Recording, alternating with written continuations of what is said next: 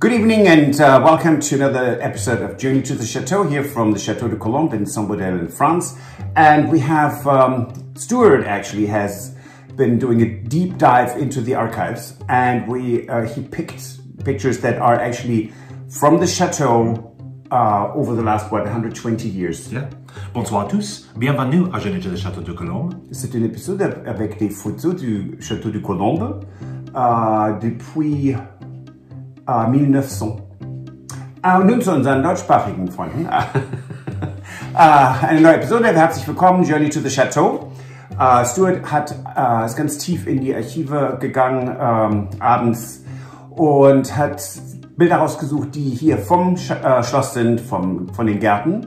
Und wir können jetzt ganz klar sehen, wie die Gärten aufgebaut waren, wo Tore waren äh, und wie gepflegt ist alles mal war. Also, herzlich willkommen. okay, so yeah, this is another episode about uh, photos from our archives. Yep. And uh, everyone was actually uh, very excited and supportive about the ones we've shown so far. Uh, Yes. These are actually photos that uh, they're not quite as old as the others because the other ones were all in the glass negatives. These are uh, not quite as old as those, because, and- but they are all showing the chateau. And they're all over 100 years, or most of them Still, are I mean, they're not years old, but they're still very old. Well, they're, they're older than, than you look in the morning, or me. Oh, okay. Hey, that's a good thing. So anyway, uh, we did make some really fantastic discoveries in these photos. Uh, and I put together a little montage, and then afterwards, we're going to talk about the new things that we found. yes, let's do that.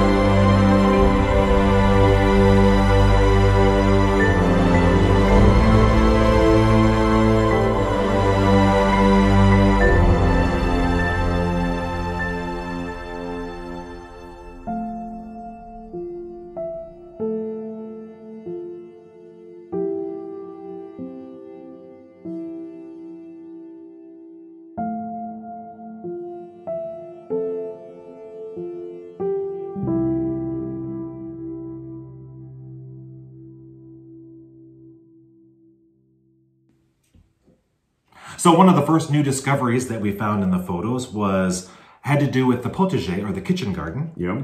And uh, we did plant there already because we knew that was the kitchen garden, but I don't think we realized how big they had actually used that garden before. Well, you know, it's it's we, we thought it was a just kitchen garden, but it was not just only kitchen. Right, right. And so we actually have several photos where it was floral as well. So uh, it looked like it was sort of a, a ornamental. Well, they had a flower garden for Right. to have always cut flowers Right. during the summer for the chateau. Right, with uh, very structured pathways that were going Yes. through through the garden as well. They're all gone. Yeah. So we we have been able to figure out from the photos that were there were actually three gates, three double gates Yes. that actually went into this area.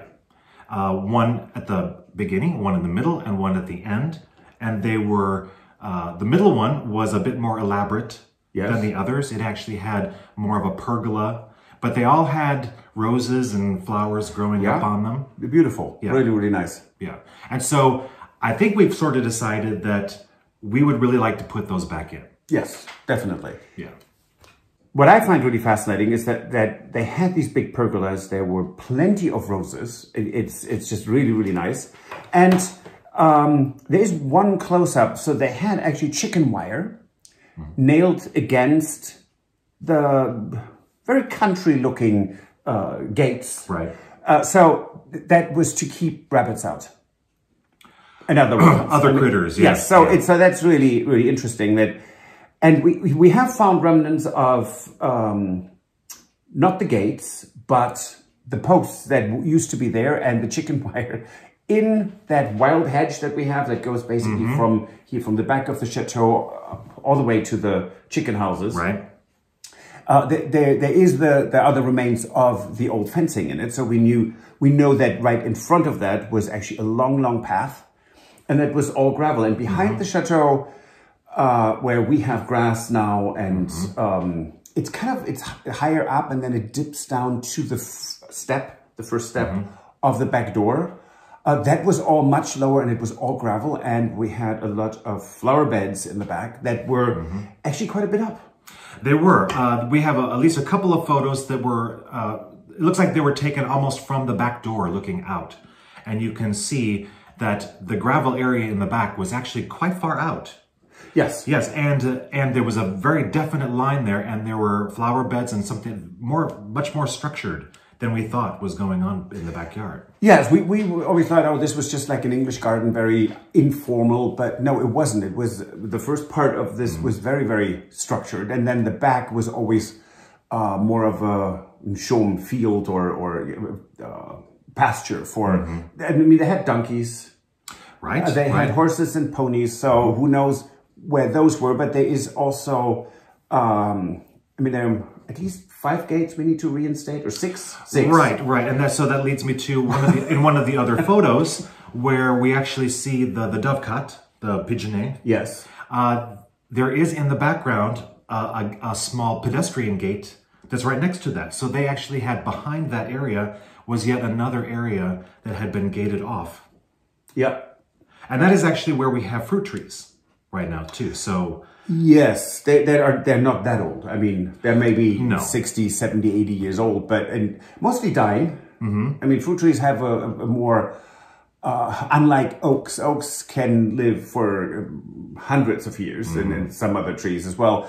Uh, fruit trees, not so much. Right, and so that's the one thing that you will notice uh, in the video. I did some standing in the same position. I took the photo from the same direction as the old photo. And what you will notice most is that the trees are not the same at all. Right? They, Well, no. There, there may be something that's back here that may have been a very tiny tree at that time, but for the most part, uh, well, we have a lot of robinia still in the backyard, mm-hmm. which are not uh, a native tree here. They're, they're almost, they're a bit invasive. Mm-hmm. And they're all dying, so they need to go. But we have a plantain tree or a sycamore tree that is about 300 years old. And we know from uh, the family that told us the chateau that uh, about seven years ago, they had something terrible happen to five trees that were all about two to 300 years old. And they had to be all taken down because they were uh, diseased and they were dying.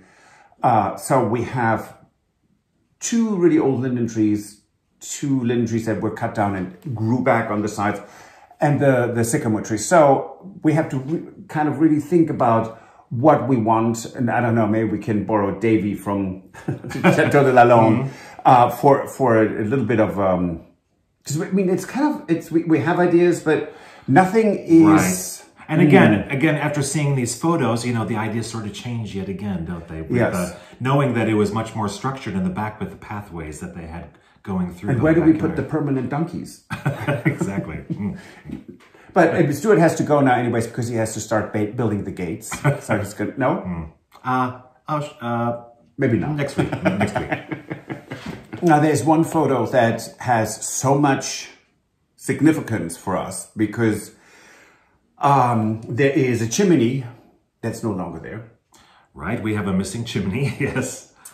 Uh, that's also at the uh, it's at the other end of the chateau. Uh, from it's the the polar opposite of the kitchen, Right. and we have a fireplace um, that is in a downstairs salon, which was used as a bedroom at some point.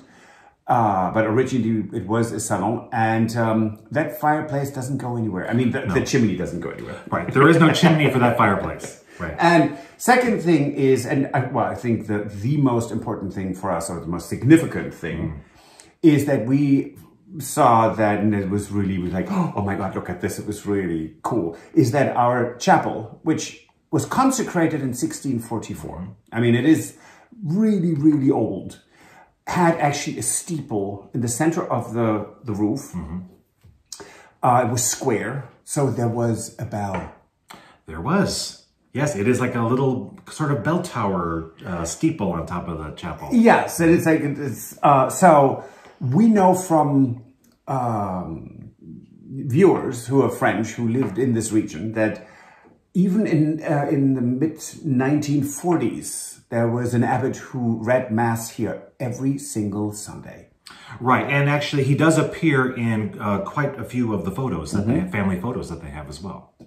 And they have nuns too, but they are not. No, yeah, which is interesting. So we have uh, priests and nuns. I mean, who knew?